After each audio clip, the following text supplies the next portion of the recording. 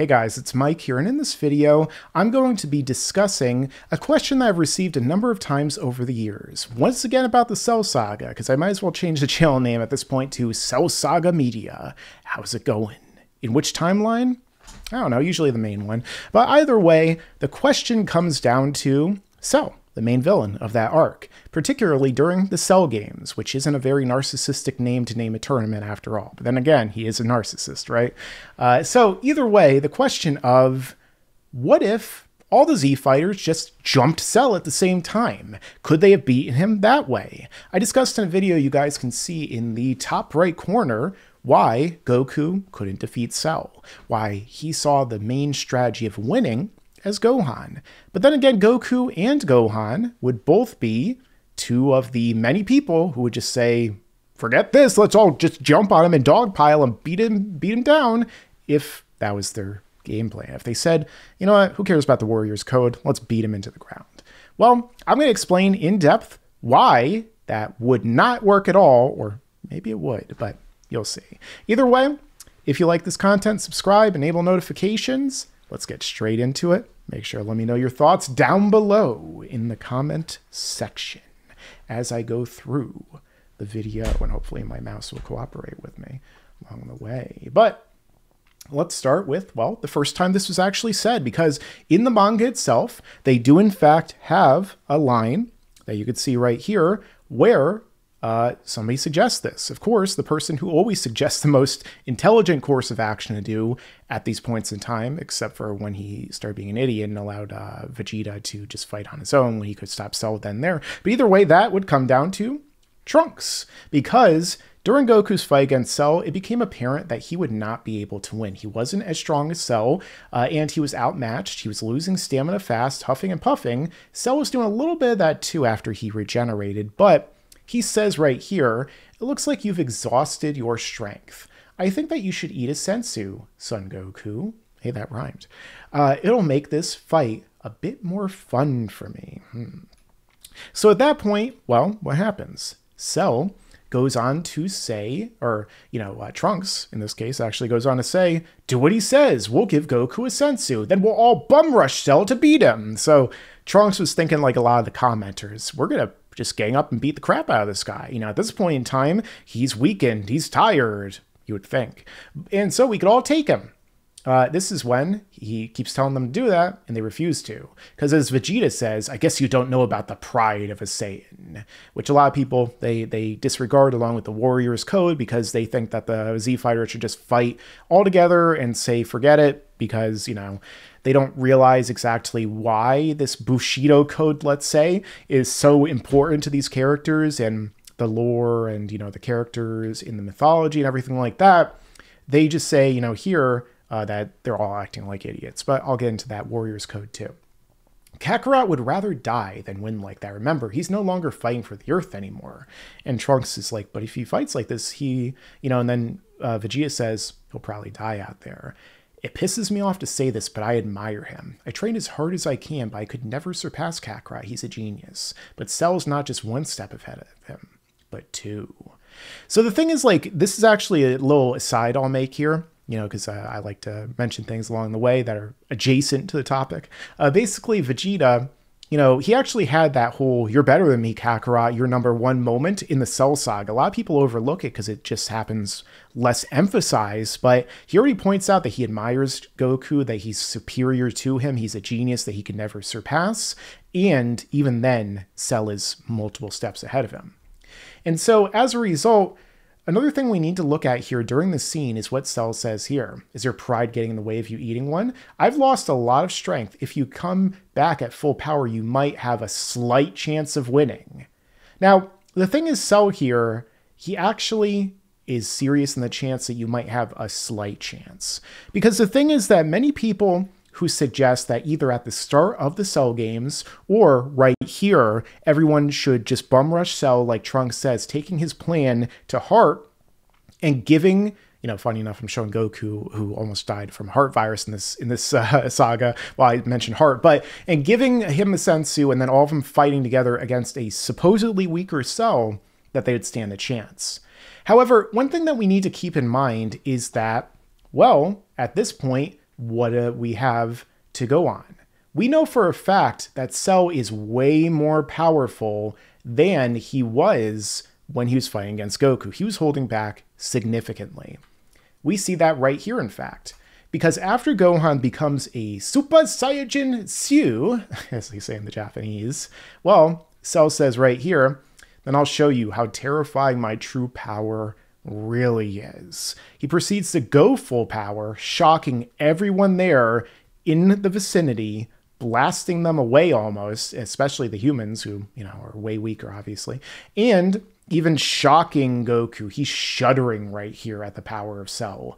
At last, Cell's revealing his full power. It feels like he's making the planet shake. So it's clear that Cell held back significantly. And then he even points this out. What do you think? This is me when I'm serious. Gohan, you still look weak to me. Or he, you know, he's basically mocking him. Because of course Gohan still stomps him easily at this point, as we could see right here. He takes zero damage from Cell punching him. Boom, starts to wreck him uh, pretty easily.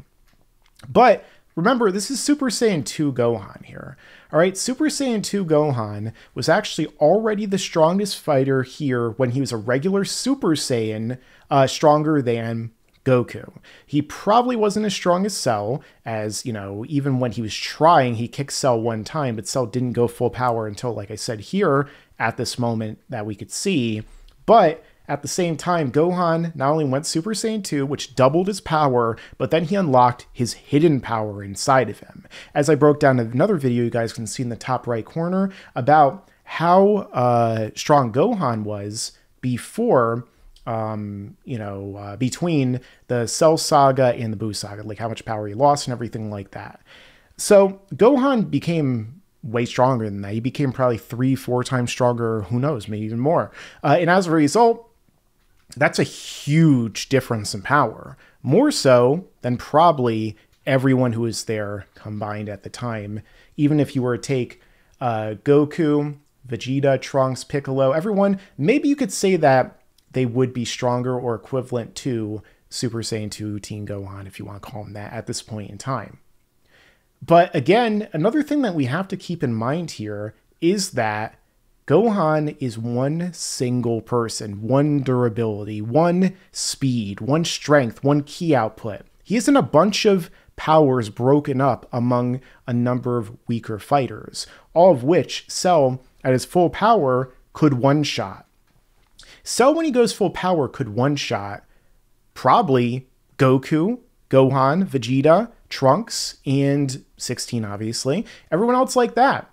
So that's a thing to keep in mind that despite the fact that all of them together theoretically might have been able to put up a way better fight than, you know, Goku did on his own, for example, or something like that, all of them together still were not capable of defeating Cell in terms of power because Cell would be able to outspeed them. He'd be able to hit them and take them apart one at a time. So you might try and be like, oh, well, they could just gang up and punch him all from different directions. But that's not really how power and speed and senses and everything work in Dragon Ball. You need to be able to.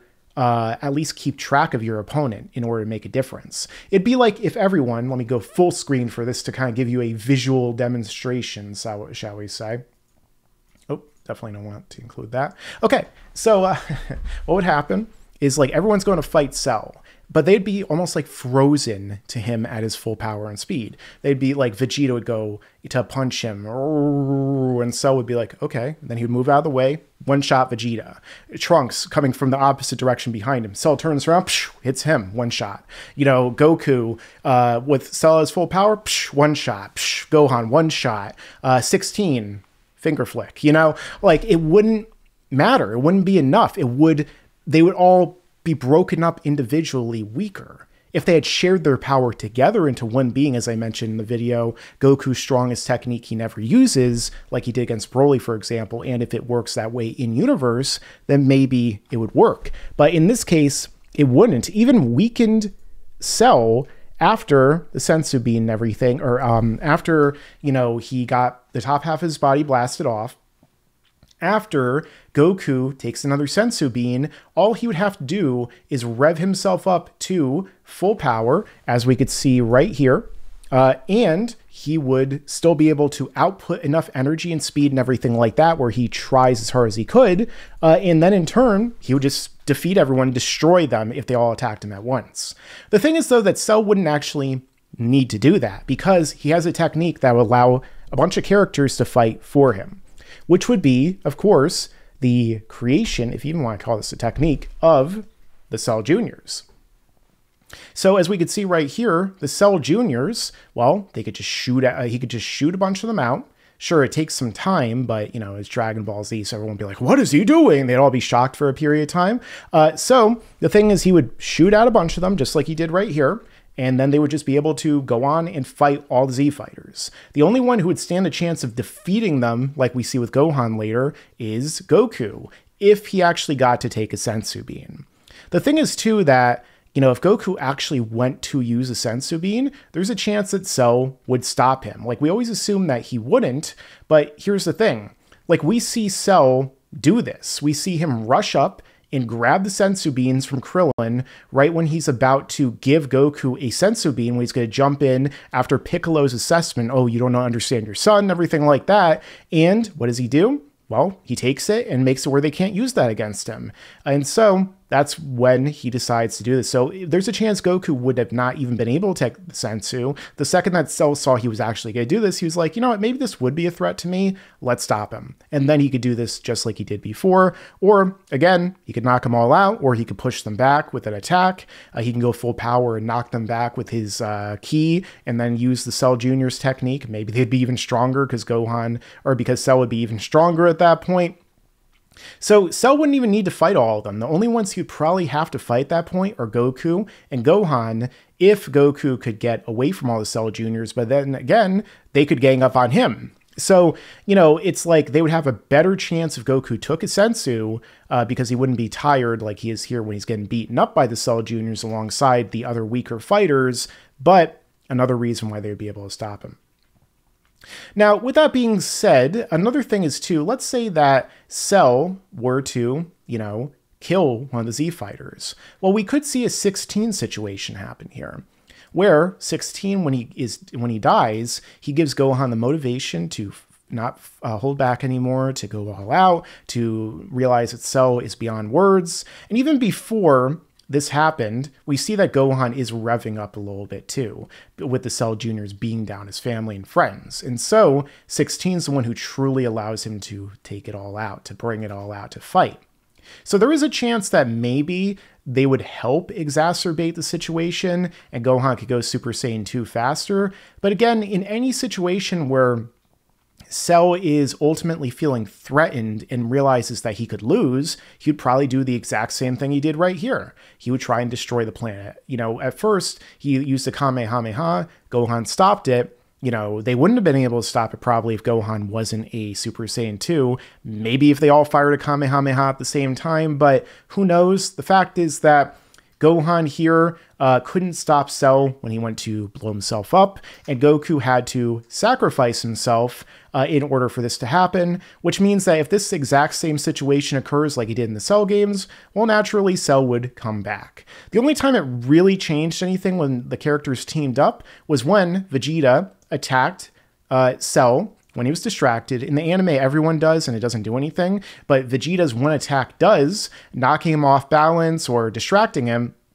And then Gohan finishes him. But again, that's Super Saiyan 2 Gohan when Cell is distracted. So it's not like the, the team of everyone actually beat him. Instead, it was like Gohan's true power within him defeated Cell when he wasn't paying attention. And thus, as a result, the most they could really, you could think, offer in that case is to do that. So I think in terms of overall, in terms of the character's powers, if they really ganged up against Cell, I don't think it would make a difference. I don't think it would really change anything that much when it comes to the outcome. I don't think that they'd be able to kill him the way that, you know, uh, a lot of people think. Sure, maybe overall their powers combined were stronger than Cell's, but unless they're focused into a single being, a single point, like Gohan, for example, or you know Goku, let's say, uh, then it wouldn't be enough because Cell could just break down all the weaker fighters individually and make it irrelevant. And that's why ultimately I think that ganging up wouldn't change anything. It wouldn't really improve things in the outcome for the Z fighters. And, you know, if anything, it would basically just lead to a slightly alternate variation of what we already saw with Cell maybe being put into a situation where he decides to just not hold back anymore and kills everyone or blows himself up or, you know, a variety of different things that would happen slightly different but lead to the same basic outcome in the end. But what do you guys think? Let me know your own thoughts down below in the comments. Do you think that this would actually change anything or maybe, well, maybe it would do nothing at all. It would, uh, if anything, make things much worse. And I even talked about in the top right corner, what if Cell won? Check that out. But make sure to stick around because there's a lot more to come in the future. Yeah, and you better subscribe.